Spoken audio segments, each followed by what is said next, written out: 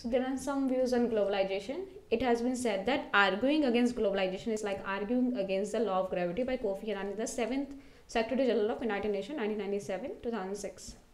Then we are dealing with the greater challenges of globalization, increasing in the level of inequality in the society that is undesirable. So in many cases, it lead to increased level of inequality in the society that is undesirable.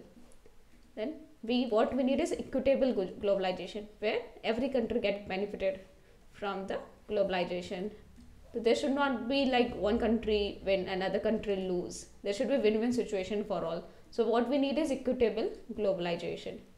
So negative side to globalization is that it wipes out entire economic system and in doing so it wipes out the accompanying cultures said by Peter L. Berger, He is Austrian, Austrian born American sociologist.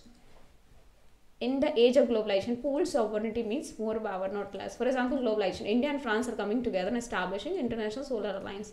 So we have pool so sovereignty. So there is a less power, more power, not less. In the age of globalization, pool sovereignty means more power, not less.